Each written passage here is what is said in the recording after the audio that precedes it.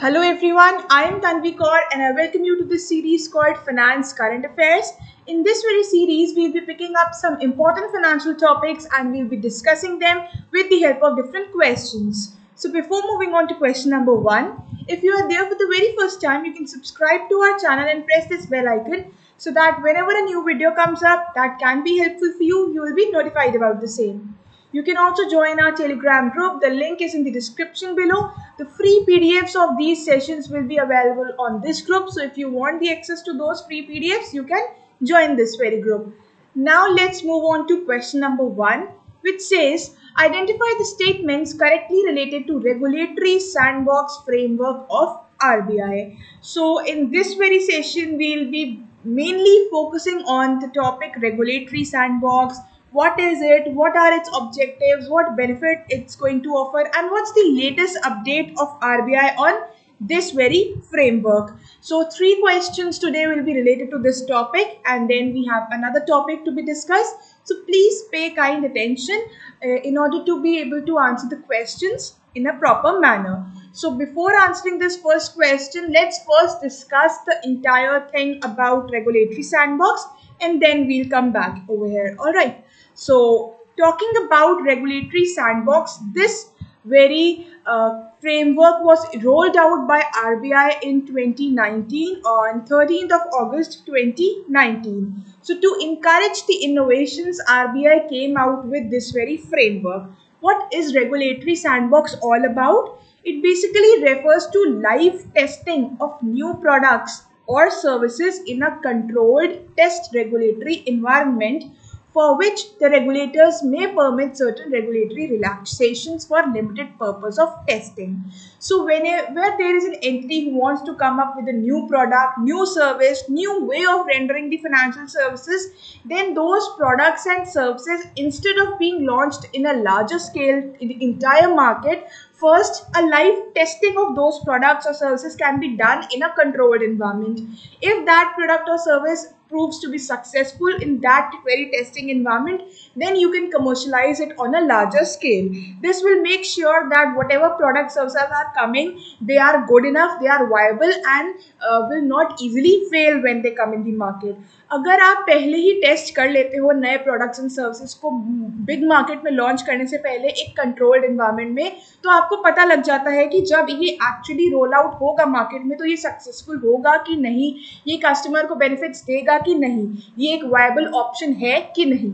इसीलिए पहले जो टेस्टिंग की जाती है प्रोडक्ट्स एंड सर्विसेज़ की कंट्रोल्ड इन्वायरमेंट में जहाँ पे रेगुलेटर्स जैसे कि आरबीआई कुछ रिलैक्सेशन दे देता है आपको और आप टेस्ट करके पता लगा सकते हो कि ये प्रोडक्ट कितना अच्छा है उस पूरे फ्रेमवर्क को हम कहते हैं regulatory sandbox okay so R B I इसके through R B I will basically come up with with certain theme and then you can come up with products and services related to that theme then it will consider the entities who are applying for the live testing of products and services based on the necessary requirement. It will basically select the companies whose products and services will be live tested and if that uh, testing proves to be successful that then that product can be commercialized on a larger scale okay so एक तरह से product को big market में launch करने से पहले हम उसकी टेस्टिंग कर लेते हैं ताकि हमें पता लग जाए वो सक्सेसफुल होगा कि नहीं ये पूरा जो है ये होता है हमारा रेगुलेटरी सैंडबॉक्स फ्रेमवर्क के under The RS, that is the regulatory sandbox, allows the regulator, innovator, financial service provider, customer to conduct field tests to collect evidence on the benefits and risks of new financial innovations while carefully monitoring and containing their risks. तो आप ये पूरी testing करते हो ताकि आपको उस product और सर्विसेज़ से एसोसिएटेड बेनिफिट्स रिस्क पता लग जाए you get an idea of the benefits and the risk associated with those financial innovations ताकि अगर कोई भी प्रॉब्लम है तो वो मॉडिफाई कर दी जाए और तभी प्रोडक्ट लॉन्च किया जाए। बेसिकली डिफरेंट रिस्क के साथ प्रोडक्ट को हमें न्यू मार्केट में लॉन्च नहीं करना चाहिए। जो भी उसमें प्रॉब्लम्स हैं शॉर्टकमिंग्स हैं, उन्हें ओवरकम करके फिर ही उन्हें लॉन्च करना चाहिए ताकि वो कस्टमर्स को लार्ज स्केल पे बेनिफिट कर पाए। Now talking about the very objective इस कॉन्सेप्ट से ही हमें ऑब्जेक्टिव क्लियर हो गया है but but let's discuss it's it once again. The objective is to foster responsible innovation in financial services promote efficiency and bring benefit to the customers जो भी हम नए प्रोडक्ट सर्विस के साथ आ रहे हैं, उसमें शॉर्ट कमिंग्स ना हो, वो एक अच्छा वाइबल प्रोडक्ट हो एफिशिएंट इनफ हो कि वो कस्टमर्स को बेनिफिट दे पाए। The regulatory Sandbox at its core, a formal regulatory program for market participants to test new products or service or business models with customers in a live environment subject to certain safeguards and oversight. असली environment के comparison में हम कुछ safe guards oversight के साथ testing करते हैं कि जब ये प्रोडक्ट हमारे एक्चुअल इन्वायरमेंट में आएगा तो उसको क्या क्या डिफ़िकल्टीज फेस करनी पड़ेंगी क्या क्या आ, कैसे उसको रिस्पॉन्स मिलेगा। तो एक तरह से पूरा लाइव इन्वायरमेंट क्रिएट होता है और उसमें ही टेस्टिंग की जाती है। तो propose financial service to be launched uh, should include a new or emerging technology or use of existing technology in an innovative way and should address the benefit uh, problem and provide benefits to the consumers. So whatever that new product or service is which is to be tested uh, under this very framework it should make use of either a new technology or an emerging technology or it can make use of existing technology only but in a new way. So existing technology ko और नए way में कैसे use कर सकती हैं कंपनियाँ किसी भी फाइनेंशियल सर्विस या प्रोडक्ट को प्रोवाइड करने में या कोई न्यू टेक्नोलॉजी का कैसे यूज़ करके वो बेटर वे में प्रोवाइड कर सकती है सेम प्रोडक्ट और सर्विस उसको वही टाइप के जो प्रोडक्ट्स एंड सर्विसेज़ है वो ही यहाँ पे टेस्ट किए जाते हैं एंड वो उनका जो फोकस है वो होता है कस्टमर की प्रॉब्लम सॉल्व करने में और उन्हें ज़्यादा से ज़्यादा बेनिफिट्स प्रोवाइड करना easily financial services low cost पर प्रोवाइड करना। What are the benefit it's going to offer? It will foster learning by doing. So before launching it on a larger scale we test on the things. If there are some shortcomings we overcome them. So by doing so by so you are learning while uh, carrying out the entire testing and improving before launching the product on a larger scale.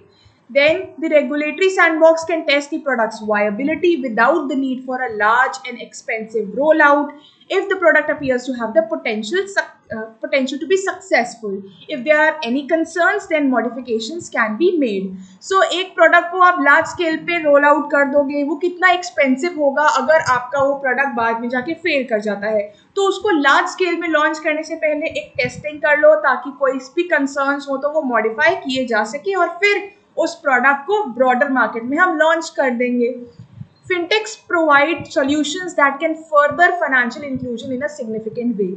So through this regulatory sandbox, new platforms come up and they help in promoting the concept of financial inclusion which basically means uh, making sure that financial products and services are available to the lowest possible sections of the society also at a lower cost so नई technology का use करके हम अच्छे financial products और services के साथ आए जो आप rural areas backward areas low sections of the society उन तक उन तक उन सब लोगों तक की फाइनेंशियल जो रिक्वायरमेंट्स है सर्विसेज़ की उन्हें फुलफिल करे ये सारा ऑब्जेक्टिव है है रेगुलेटरी सैंडबॉक्स का न्यू इनोवेशंस प्रमोट कर न्यू टेक्नोलॉजी और इनोवेटिव प्रोडक्ट्स प्रमोट करना जो फर्दर फाइनेंशियल इंक्लूजन इंश्योर करेंगे। देन द रेगुलेटरी सैंडबॉक्स को lead to better outcomes for consumers as we have been discussing all about it by providing an increase range of products and services at reduce cost and improve the access to the financial services so ये कुछ benefits हैं इस regulatory sandbox के। Now moving ahead to the eligibility criteria कौन सी ऐसी entities है जो अपने प्रोडक्ट्स या सर्विसेज़ की लाइफ टेस्टिंग करवा सकती हैं इस फ्रेमवर्क के under which entities can get their products और services life tested under this framework so the target applicants for the entry to regulatory sandbox are your fintech companies which can include different startups banks financial institutions limited liability partnership partnership firms partnering or with or providing support to financial service businesses. So जितने भी आपके startups हैं banks हैं financial institutions हैं L L LLPs हैं partnership firms हैं, जो financial services products provide करने पर फोकस कर रही है, वो सब ही इस सैंडबॉक्स के अंडर लाइव टेस्टिंग के लिए अप्लाई कर सकती हैं। The regulatory sandbox will begin the testing process with a few selected entities through a comprehensive selection process as detailed in the framework under fit and proper criteria. So, ऐसा नहीं है कि जितनी कंपनीज़ अप्लाई करेंगी, सबकी life testing होगी। It's not that all the companies which are applying will be life tested few will be selected based on which of those entities are fulfilling the necessary requirements specified by R B I and only those entities are taken forward अगर बीस तीस एंटिटीज़ हैं twenty thirty entities हैं जो आती हैं application uh, लेके अपने प्रोडक्ट सर्विसेज़ की उसमें से हो सकता है सिर्फ़ आठ दस ही सेलेक्ट हो सब नहीं हो। सारी एंटिटीज़ की लाइव टेस्टिंग नहीं की जाती है। Fit and proper criteria will include what? Let's discuss some conditions which might be required to be fulfilled in order to be a successful applicant for live testing of their product and service. So it can be any company incorporated or registered in India or a bank licensed to operate in India or an LLP partnership firm registered in India or a financial institution. So जो company, bank, LLP, financial institution, proper statutes, law के अंदर registered है India में वही आगे बढ़ेंगी इस very framework के under then the entity should have a minimum net worth of ten lakh as per it's latest balance sheet so ये नेटवर्थ रिक्वायरमेंट भी है. Then all promoters directors partners of the entity should be fit and proper so R B I specifically separately provides a criteria for promoters director partners as well so these partners directors and the promoters should fulfill that very criteria Then the conduct of bank account of the entity as well as its promoters and directors should be satisfactory as per RBI's needs and requirements.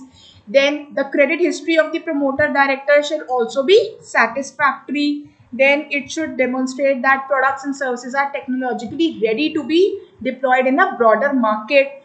Also, these entities need to make sure that they are working on consumer data protection, privacy, building up their IT systems to prevent the unauthorised access of the data having good IT infrastructure so ये सारे areas हैं जिस पे entity को work करना है। वो properly statute के अंडर इंडिया में रजिस्टर्ड होनी चाहिए। उसकी कुछ मिनिमम नेटवर्थ होनी चाहिए। उसको uh, जो भी उनकी क्रेडिट हिस्ट्री है वहाँ के प्रमोटर्स डायरेक्टर्स की वो सेटिस्फैक्ट्री होनी चाहिए, आपको डेटा प्रोटेक्शन की तरफ़ वर्क करना है, आपका जो भी प्रोडक्ट एंड सर्विसेज़ है वो वाइबल इनफ होना चाहिए कि वो एक लार्ज मार्केट में डिप्लॉय हो सके आईटी इंफ्रास्ट्रक्चर डेवलप करना, ये सारी कुछ रिक्वायरमेंट्स है इसके अलावा भी और रिक्वायरमेंट्स मैंशनड हैं और right Now, moving ahead to the update on regulatory sandbox, which is regulatory sand, related to regulatory sandbox cohorts.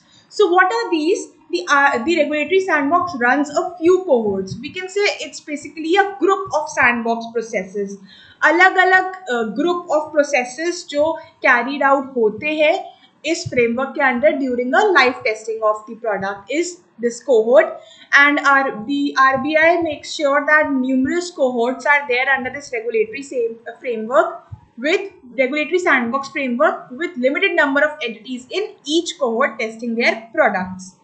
So they are thematic cohort so her cohort हर ग्रुप ऑफ़ प्रोसेस किसी theme पे based है. Each group of process is based on a certain theme That theme can be financial inclusion or digital KYC or payments and lending and many more. So if suppose the theme is financial inclusion, okay, then different companies can apply for whatever products and services they are coming up with to ensure financial inclusion. If the theme is say digital KYC, then the firms need to apply for different products and services which will facilitate easy digital KYC process. So this is how thematic cohorts are conducted under this framework and usual time period within which this cohort uh, is run and should be completed is six months. So जो भी products and services आ रहे हैं उनकी viable testing वगैरह होके final approval छः महीने के अंदर अंदर ये process पूरा हो जाना चाहिए. Now talking about some innovative products, service technologies that can be tested under this regulatory sandbox includes your uh, products and services like retail payments, money transfer service, marketplace lending, digital KYC, financial advisory service, wealth management service, digital identification services, smart contract, financial inclusion product, products, cyber security products. So ये सारे type के products के साथ services के साथ आप आ सकते हो और उनकी लाइव टेस्टिंग करवा सकते हो you can also come up with new technologies like mobile technology application data analytics application program interface services, applications under the blockchain technologies, artificial intelligence, machine learning. So in innovative product services technology को आप live testing करवा सकते हो and if that proves to be successful then you can launch those products or services in a larger scale. Now talking about the recent cohorts. So if I talk about the first cohort, the first cohort for regulatory sandbox was under the theme retail payments. So first cohort की theme क्या थी retail payments. So जो भी companies हैं जिनके पास ऐसे products या services हैं जो retail payments uh, make sure करेंगे वो इसके अंदर apply कर सकती थी. So RBI received a total of 32 applications under retail payment cohort but only six were selected for testing phase and all these six have been found viable and the products have been accepted and these products uh, can further be adopted by regulated entities subject to some regulatory requirements. So 32 applications were received. In 32 में से 6 का selection हुआ था testing phase के लिए और वो six की सिक्स ने वो टेस्टिंग फ़ेज़ क्रॉस कर लिया है और अब वो अपने प्रोडक्ट और सर्विसेज़ को कमर्शलाइज कर सकती हैं। So the names of those six entities which have clear the first cohort are your nuclear software payment export tap smart data information services private limited natural support consultancy services private limited Naffa innovation private limited Vona technologies and in route technologies so their product और service is also mentioned over here to give you an example like if I talk about the nucleus software exports its product is Payse what is it it's basically an offline digital cash product so ये digital product भी है और ये offline work करेगा it proposes to help the digitization of payments in rural areas starting with self help group so ये rural areas में self help groups को specifically help करेगा डिजिटल पेमेंट्स में through an offline payment solution and a digitised centred ecosystem क्या, कैसे work करेगा? It will use the Bluetooth low energy protocol for secure wireless payment where no other connectivity is required so low energy low Bluetooth low energy protocol use करके, एक improve technology use करके, ये digitised offline payments में rural areas में help करेगा। and then similar there are similarly there are other examples as well like city cash is a product of this company ind e-cash of natural support and this is the role which they are likely to play moving ahead to the second cohort now so the reserve bank account uh, announced the opening of this very cohort in december 2020 for cross border payments so second cohort ki theme kya thi cross border payments आपको तीनों अभी जो मैं discuss करूँगी, तीन कोहर्ट्स तीनों की themes आपको पता होनी चाहिए। सो क्रॉस बॉर्डर पेमेंट्स के अंडर जो भी कंपनीज़ नए प्रोडक्ट्स या सर्विसेज़ के साथ आना चाहती हैं, वो सेकेंड कोहर्ट में अप्लाई कर सकती हैं। So Reserve Bank received 27 seven application out of which eight have been selected for test phase and that test phase will begin in this very month third week so second cohort के लिए जो theme है वो RBI ने दिसंबर 2020 में बताई थी कि क्रॉस बॉर्डर पेमेंट है। 27 एप्लीकेशंस आरबीआई को मिली थी जिसमें से only eight entities have been selected for the testing phase इनकी टेस्टिंग अब इस मंथ के थर्ड वीक में होएँगी। So names of those eight entities which have basically passed uh, the selection and are going to be tested in the phase of uh, second cohort include Book My Forex private limited cash free payments fair X solution फ्लायरमेंट near by technologies open financial technologies so cash and Wall Street finance limited so ये वो आठ firms हैं जिनकी अब products या service जो हैं, वो क्रॉस बॉर्डर पेमेंट थीम के अंदर टेस्ट किए जाएँगे। Talking about the third cohort third cohort theme was also announced in the month of December 2020 and the theme was MSME lending. So, third cohort की theme क्या थी MSME lending. First की थी retail payment second की थी cross border payment और third की है एमएसएमई लेंडिंग सो ये थीम तो आपकी 2020 में ही अनाउंस हो गई थी, लेकिन एप्लीकेशन विंडो नहीं ओपन हुई थी, जहाँ पे एंटिटीज अप्लाई कर सकती हैं तो अब आरबीआई ने वो विंडो भी ओपन कर दी है. The Reserve Bank has announced this theme in December 2020 it now announces the opening of the application window the application window will be open from October first to November 14 so इस time period के अंदर आप जो भी companies अपने products and services को test कराना चाहती हैं, वो अप्लाई कर सकती हैं. And they have to give a scanned copy of their application, the necessary enclosures and forward them through an email. So this was all about the three cohorts. Now moving back to question number one.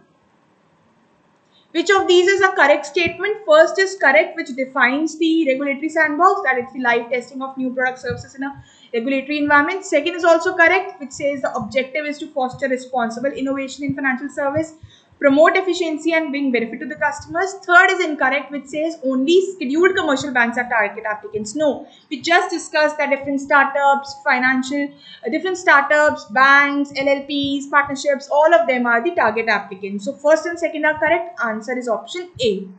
Moving on to question 2 related to regulatory sandbox. The regulatory sandbox may run a few cohorts with a limited number of entities in each cohort testing their products during a stipulated period. The regulatory sandbox shall be based on thematic, thematic cohorts focusing on financial inclusion, payments, and lending, digital KYC, etc. Identify the theme of second cohort. So we know the theme of second cohort is cross-border payments. Answer is option D. Moving on to question number three now. The first cohort from, for regulatory sandbox was under the theme of retail payments, where RBI received 32 applicants and only few were selected for test phase. All the pro, pro, pro, products which were selected have been found viable and have exited the first cohort. Sandbox uh, of this sandbox and the products which have been accepted under this cohort can be adopted by regulated entities How many of these 32 entities are eligible for product adoption after testing तो अभी हमने discuss किया first cohort में 32 applicants आए थे six select हुए थे और वो सिक्स के सिक्स वाइबल प्रूव हुए हैं so answer is option A six Now moving on to last question and next topic of the day. RBI and Dash have announced a project to link their respective fast payment systems UPI and pay now to facilitate instant low cost cross border fund transfer. The UPI pay now linkage will enable the users of each of the two fast payment systems to make pay, to make instant low cost fund transfer on a reciprocal basis without the need to get onboarded onto other system. So India along with some other country has entered into a project to link its UPI with their UPI. So so, India में जो हमारा fast payment network है वो है UPI ऐसे ही किसी और कंट्री का फास्ट पेमेंट नेटवर्क है PayNow both of these have been linked and now we can easily make the cross border payments among India and that very country so you have to identify the central bank of that very country. So वो country है Singapore and the Monetary Authority of Singapore along with RBI has announced this project. So answer is option B. We have already answered this question but let's get into the details of this very project.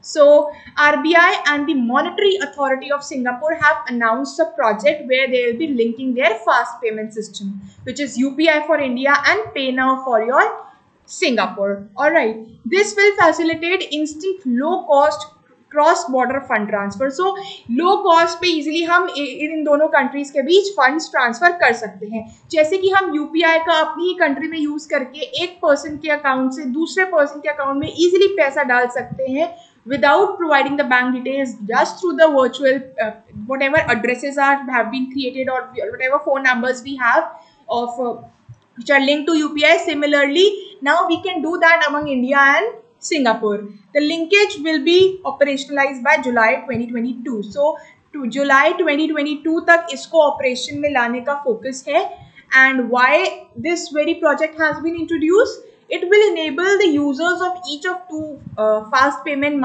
systems to make instant low cost fund transfers on a reciprocal basis so india से singapore and singapore से india इस linkage के through easily fund transfer हो जाएगा low cost पे।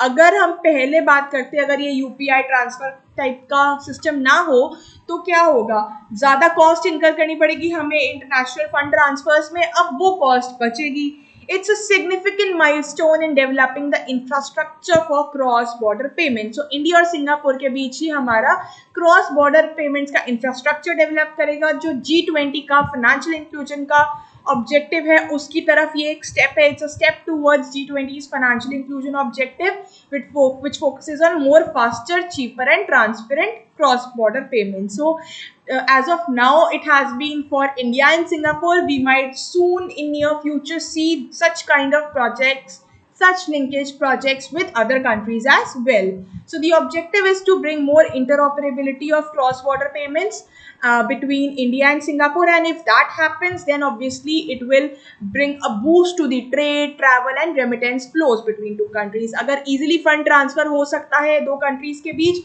तो उनके बीच का trade, travel, remittance flows सब improve होंगे okay. Telling a bit more about what's UPI and what's Pay Now. So UPI we know is a fast payment system in India. Where using a virtual payment address created by customer. We can easily send or receive back the money without sharing the bank details. So it can be a person to person or person to merchant payments. Okay. Similarly, PayNow is a fast payment system of Singapore. So it enables peer-to-peer -peer fund transfer uh, available to retail customers. And then it enables to send and receive instant funds from one bank or e-wallet to the other by just using your mobile number or the virtual payment address like the UPI does in India. All right. So this was the entire concept and with this um, we end up this session. I hope the session was useful for you and you are clear with this very concept of regulatory sandbox. With this, I would like to end up this session. Thank you so much.